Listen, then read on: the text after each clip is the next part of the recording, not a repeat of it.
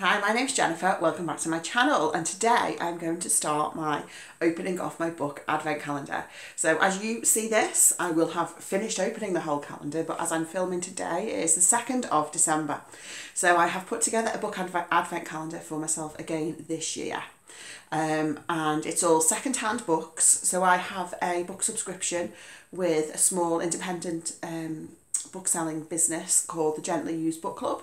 I'll link their website down below. This is not sponsored. Um, and all I've done is I have saved a few subscription boxes up. So I have 12 books.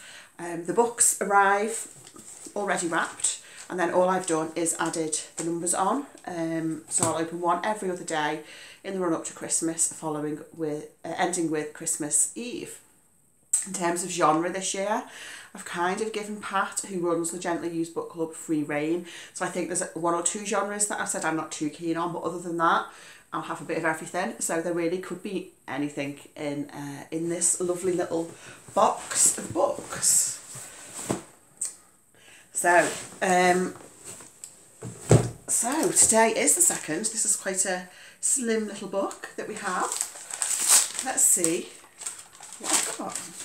Very exciting.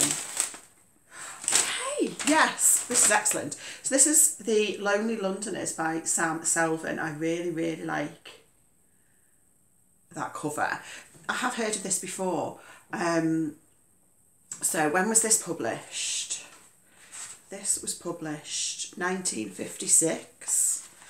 Um, so I think it's like a bit of a modern classic. It's one that it's definitely been on my radar certainly in the last year or so. I'm not sure where I've heard of it or who I've heard talk about it. I've definitely heard someone talk about it.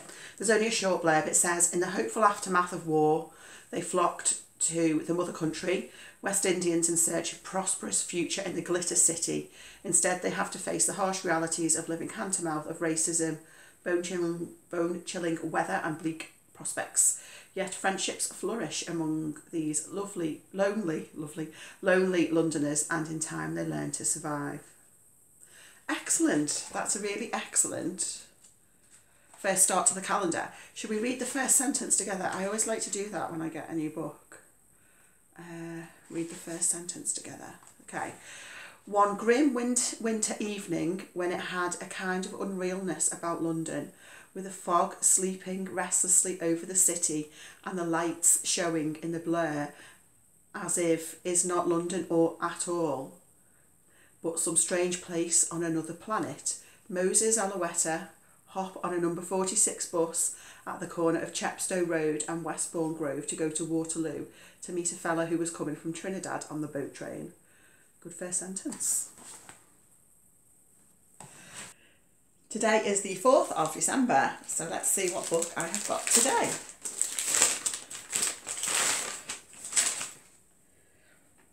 Never heard of this. This is The Merman by Carl Johan Vallgren.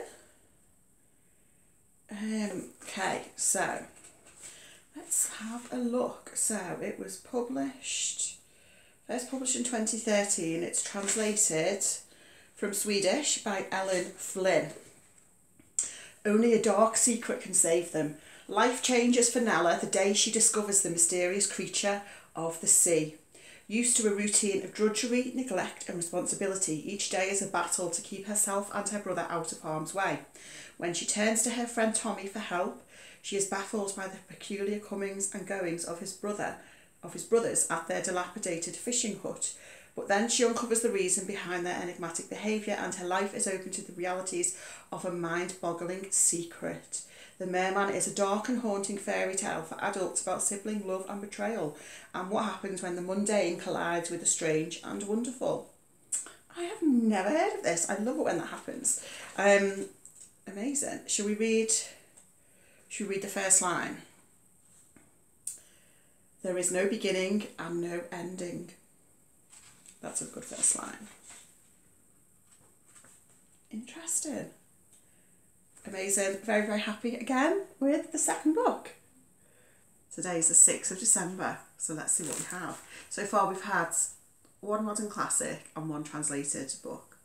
And I did say that my two favourite, they're not really genres, but categories are modern classics and translated. So we're doing well so far. Let's see what we have today.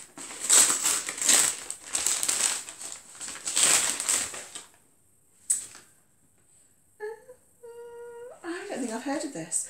The Mermaid Chair. So yesterday we had the Merman. These were all ran in a random order because I just shuffled them around when they came. The Mermaid Chair by Sue Monk Kidd, who wrote The Secret Life of Bees. I feel like I've heard of that book, but I've not heard of this one.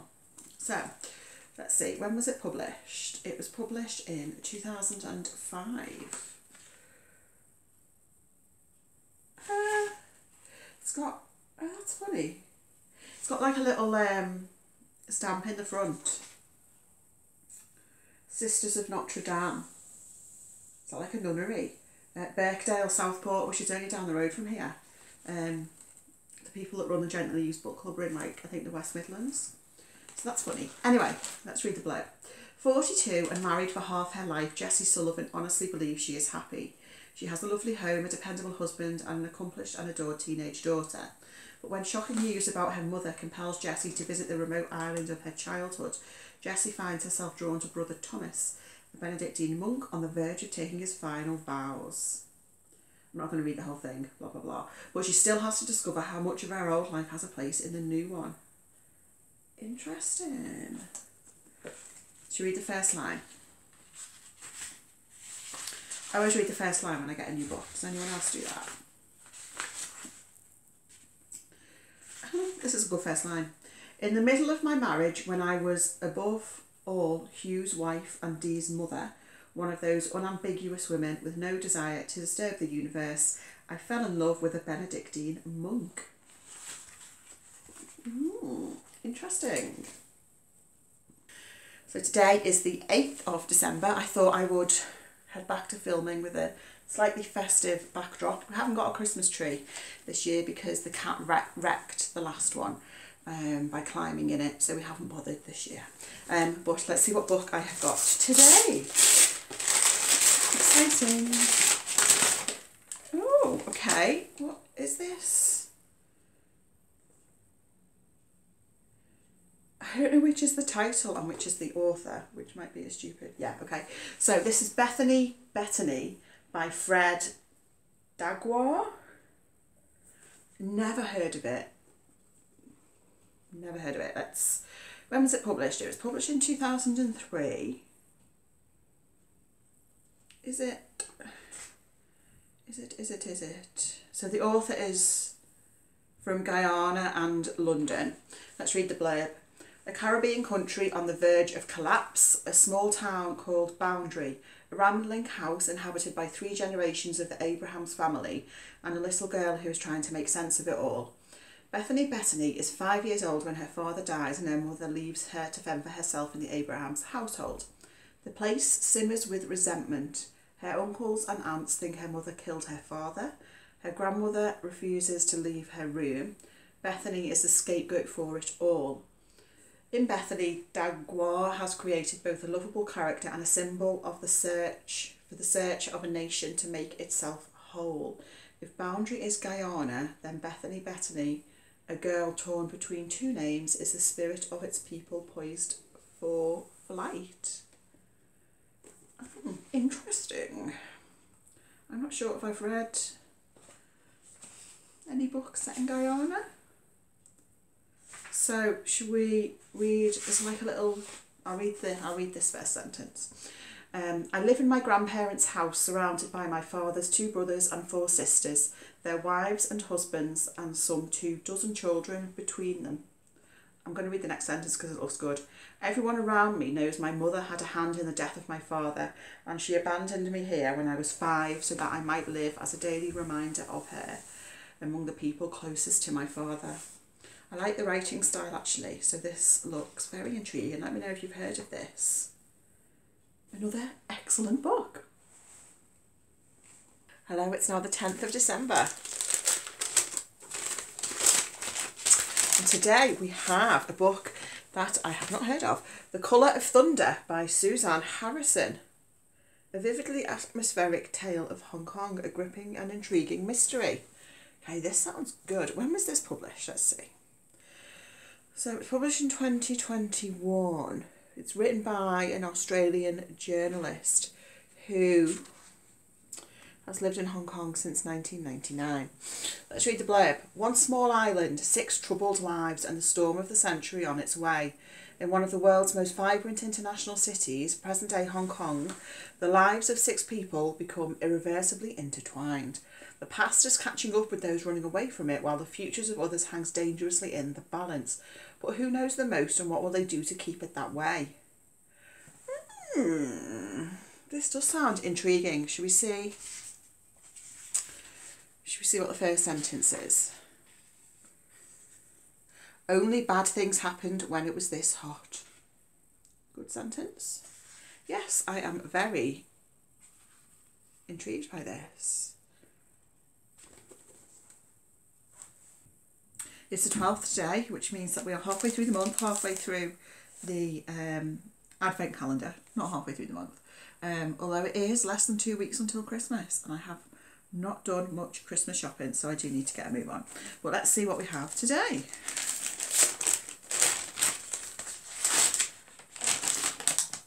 Ooh, interesting cover. Botchan by Natsume Soseki, a modern classic newly translated by Jay Cohn. It's got like a, um, is that like a grasshopper or a cricket or something? Mm. So, French flaps. Ooh! It's got like a cover on it actually. Mm. Exciting. Um, let's see. So, first of all, when was this first published? It has an introduction as well. So, it's translated from Japanese. It was first published in 1906. That's exciting. I don't think I've read anything um, like that old from Japan. Let's read the blurb. Like The Catcher in the Rye or The Adventures of Huckleberry Finn, Botchan, a hilarious tale about a young man's rebellion against the system in a country school, is a classic of its kind. It's enjoyed timeless popularity, making it probably the most widely read novel in modern Japan. Hmm. So it's about, let's see, so what's it about? Um, the setting is Japan's deep south, where the author himself spent time teaching English in a boys' school. Into this conservative world with its social proprieties and established pecking order breezes Botchan down from the big city with scant respect for either his elders or his noisy young charges, and the result is a chain of collisions, large and small. Light, funny, never slow moving. Interesting, interesting. So it has got an introduction as well. I'll probably have to make sure I read that after, just in case it gives stuff away. Should read the first sentence. From the time I was a boy, the reckless streak that runs in my family has brought me nothing but trouble. That's a good sentence. I'll read the second one because this looks good as well. Once when I, once when I was in elementary school, I jumped out of one of the second story windows and I couldn't walk for a week. Oh, I'm very excited by this actually. Very, very. That might be, this might be the one I'm most excited by so far. So before I open today's book, I thought I'd update you on an idea I have had. So I'll be participating in the Past and Future Readathon in January. Um, future Jennifer will have done a TBR video for the readathon, which I'll link down below. Um, one of the prompts is new edition. Read a recent addition to the TBR or your newest book. So I thought for that, I could read a book from my advent calendar. Um, and the way I'm going to choose which book to read is based on which first line I like the most. Which first line is the most enticing to me. So just now I've gone through all the first lines that we've had so far to refresh my memory. Um, between these two so far, so we've got the colour of thunder. The first line is only bad things happened when it was this hot, which I think is a good first line. And this one from Botchan, which is from the time I was a boy, the reckless streak that runs in my family has brought me nothing but trouble. And I think we're going to go with Botchan as the winner so far because we know straight away it's going to be first person perspective, which is something I really like. Um, and sounds like sounds like an interesting character. So I think Botchan is the one to beat so far. Um, at the end of this video, do let me know what first line you would have chosen as your favourite first line. Um, so we'll see what today's book is.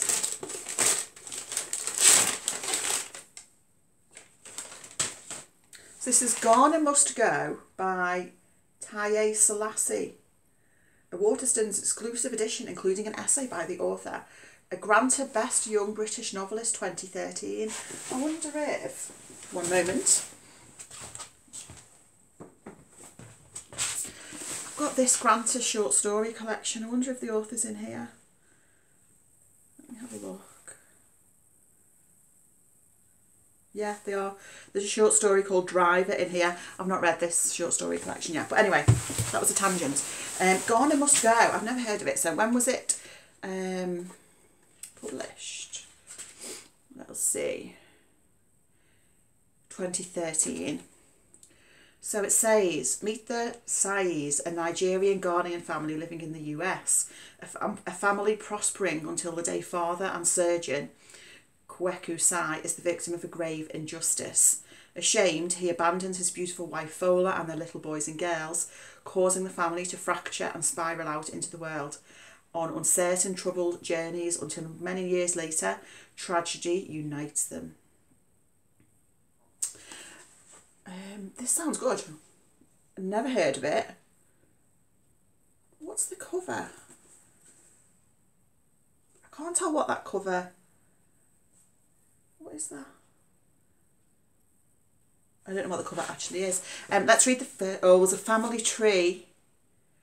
Although to be fair, it's not a very big family tree. Family trees always intimidate me because it means there's going to be a lot of characters. And it makes me think it's going to be a family saga, which is like literally my least favourite type of book. Um, pronunciation guide, that's helpful. Right, let's read. Mmm. The first line is Kweku dies barefoot on a Sunday before sunrise, his slippers by the doorway to the bedroom like dogs. Kweku dies barefoot on a Sunday before sunrise, his slippers by the doorway to the bedroom like dogs. That is a good first line. But is it better than? I should have kept the page open, shouldn't I? Um, is it better than? From the time I was a little boy, the reckless streak that runs in my family has brought me nothing but trouble. No, I think this still wins. I think Botchan is the, still the winner so far. I'm just, I'm really liking that first line. Hello, it's now the 16th of December. What do we have here? I have heard of the author.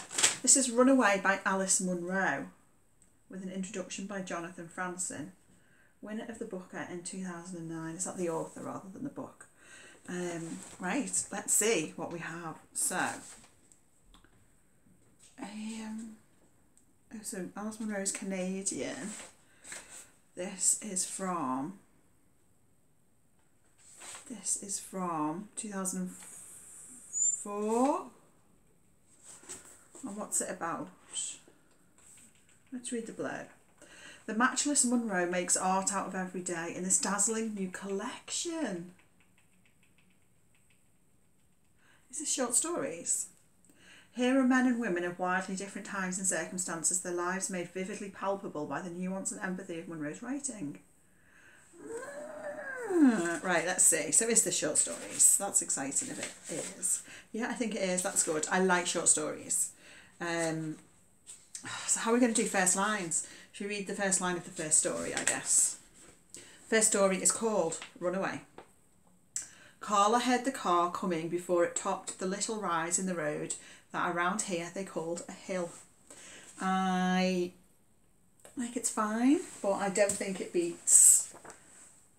From the time I was a boy, the reckless streak that runs in my family has brought me nothing but trouble. That is still the winner. Um, but I am pleased with that because it's short stories. I don't like that cover. I don't really like people on covers. Um, but I'm very intrigued by this. Let me know if you've read any Alice Munro before. Hello, it's December the 18th today. So let's see what we have. I feel like I've heard about this book really recently and that I wanted to read it. It's The Stranding by Kate Sawyer.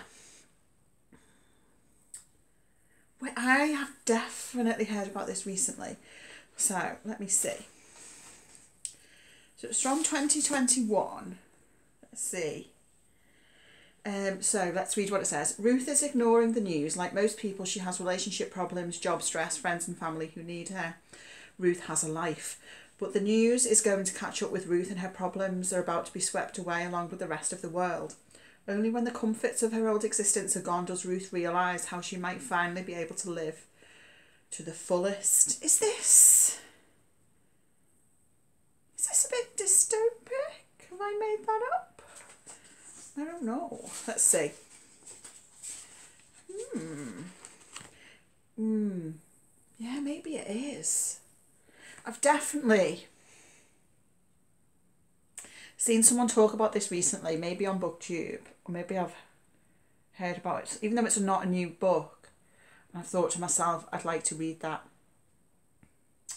Um, this is quite a good first line.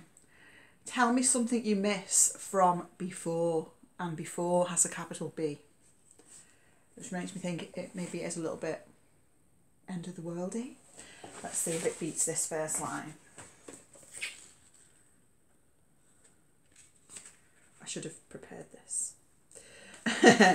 From the time I was a boy, the reckless streak that runs in my family has brought me nothing but trouble.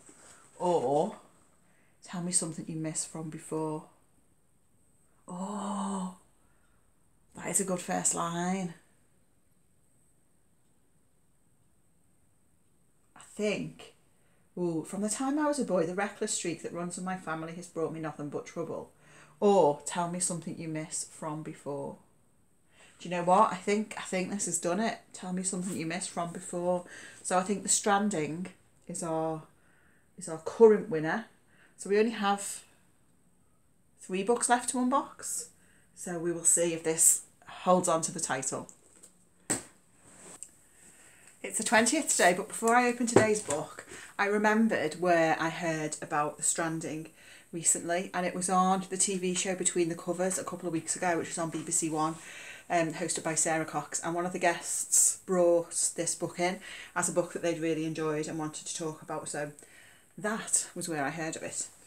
Um, as I was driving home today, and I was stuck in traffic, and I remembered that today was a book day and it made me very happy.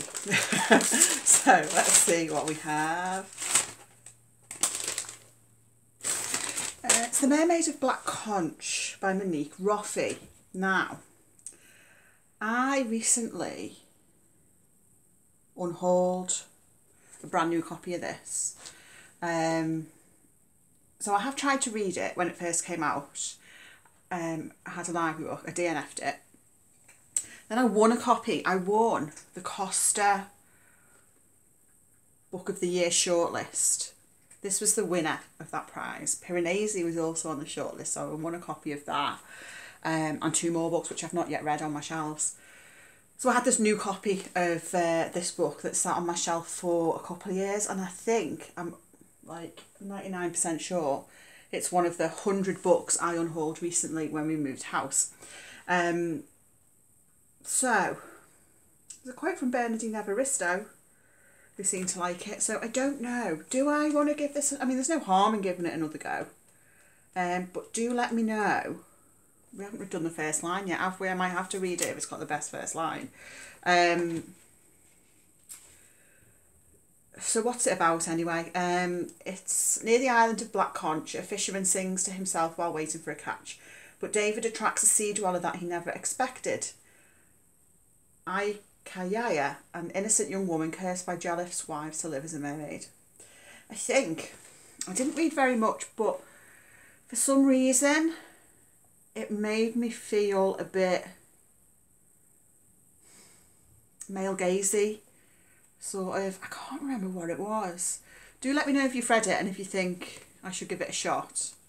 Um, should we do the first line? David Baptiste's dreads are grey and his body wizened to twigs of hard, hard black coral. but there are still a few people around St Constance who remember him as a young man and his part in the events of 1976 when those white men from Florida came to fish for marlin and instead pulled a mermaid out of the sea. I mean, it's not a bad first line, it's a bit long for a first line. There's a lot going on, but you know, we've immediately got the mermaid introduced. Um, so I'm pretty sure it's not going to beat this one, but let me just remind myself of this one. Tell me something you miss from before. Nah, this is definitely still the winner, but do let me know if you have any thoughts on the Mermaids of Black Conch. Hello, so I have a confession. Today is the 24th of December, Christmas Eve, and I actually didn't open the book on the 22nd, so I have two to open today. The 22nd was my first day of leave, and the day just went away with me. I did spend half the day asleep, to be fair, um, and then I was intending to open it yesterday, and yesterday the day went away with me as well. It was busy, so we have two to open today. So the first one, interesting, Across the Void by S.K. Vaughan. Miles from home, every breath counts. Is this sci-fi? I think it's sci-fi. That's quite exciting. I've not heard of this before. Um, hmm. When was this published? It was published in 2019. Shall we read the blurb? Oh, that's appropriate. Christmas Day 2067. Silent night drifts across the ruins of a wrecked spaceship, listing helplessly in the black. Sole woman, May, stares within, the last person left alive of a disastrous first manned mission to Europa, a moon of Jupiter. There is only one person who can help her, her, her ex husband, Stephen, a NASA scientist who was heading up the mission back on Earth. Until that is, she broke his heart and he left both her and the mission. Now May clings to life, and it's only his voice travelling across the fathomless miles that can bring her home. In this twisty, gasp inducing thriller, when each breath is a fight for survival, their relationship is the difference between life and death. This sounds really, really good. I'm not a big sci-fi reader, but I do quite like tipping my dipping my toe in every now and then. This is quite long. It's about 450 pages long. Should we see what the first line is? Okay, the little title is April 2045, Bournemouth, UK. You've gone too far. I mean, it's a it's a good first line. It's not as good as what was this one? It's not as good as Tell me something you missed from before. So this is still the winner so far, but really, really pleased with that. That sounds really, really good. Um, that's why I love these book boxes because I always get books that well, I've not heard of, but also that I wouldn't necessarily have picked up because I did ask for sort of like a range of genres this year. Um, so that's good. So we'll open today's actual book, the final book, the final book of the Advent calendar. Oh, oh, this looks good. Okay, this is called Cat Person and Other Stories. I mean, immediately I love that. Um, by Kristin Ru- Roupenian.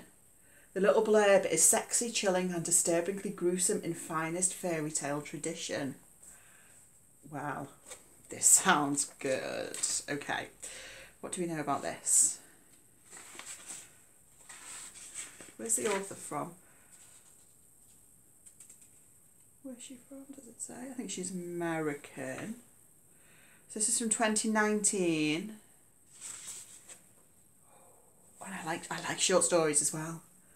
Should we read the uh, should we read the blurb? I'm so excited. Okay. These are stories of women's lives now. They also happen to be horror stories. In some, women endure the horror, in others, they inflict it. Here are women at work, at home, on dates at the doctor's, not on dates at the doctor's, on dates, comma, at the doctor's, with their families and with their friends. Here are women grappling with desire, punishment, guilt, and anger. These are stories to make you feel fascinated but repelled, scared but delighted, revolted but aroused. Well, there you go. Sounds amazing. Um, so, the first story is called Bad Boy, and the first line is Our friend came over the other night. I mean, that's not really doing much for me as a first line, to be honest. But this book sounds really, really good. It's getting compared to Shirley Jackson, who I do like, Angela Carter, who I've not necessarily always got on that well with, but really, really, really looking forward to this. Um, so in terms of first lines then, The Stranding wins it. So this is The Stranding by Kate Sawyer. First line of this one is Tell me something you miss from before. Before with a capital B, which makes a difference. And should we carry on reading and um, I'll let you know what the next line is. So tell me something you miss from before. Toast. Yes, bread. Fresh, crusty bread. So that is the book, The Stranding, that I'll be reading in January for the Past and Future Readathon. I'll link my TBR video down below. Um, but in terms of this calendar overall, I'm very, very pleased with it actually. Most of the books I haven't heard of, one or two of them I have and was keen to read anyway. The only one I was slightly lukewarm on was The Mermaids of Black Conch. But then I have since had a look at Storygraph to see um, how other people had rated it who I follow on Storygraph and there's a couple of people gave it really high ratings so I'm minded to give it another go. Um, but yeah really really strong advent calendar. Thank you to Pat if you're watching who um, runs the Gently Used Book Club. Um, I will link their website down below. Um, yeah super super excited. So thank you for watching. Let me know if you've read any of these books and let me know if you got any books for Christmas and what they were. I'll speak to you again very soon. Bye